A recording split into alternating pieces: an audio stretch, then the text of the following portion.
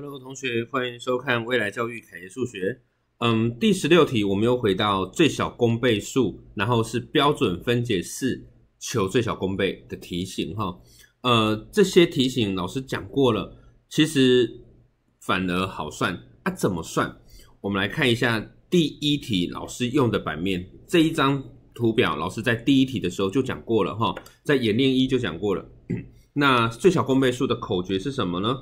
求最小公倍数的时候，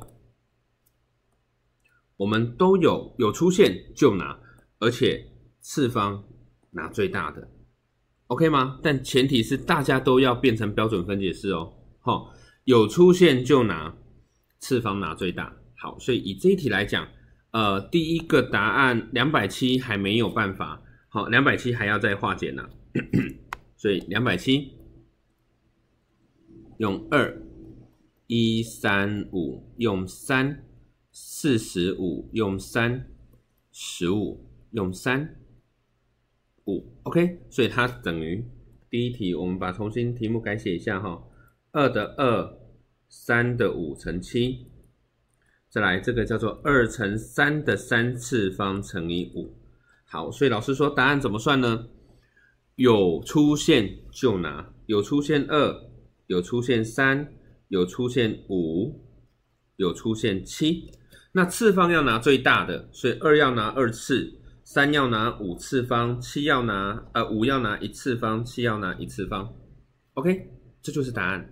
好，再来第二题，我们一样要化简一个人哈，五百零四啊六这边也要改一下下，所以先变成标准分解式。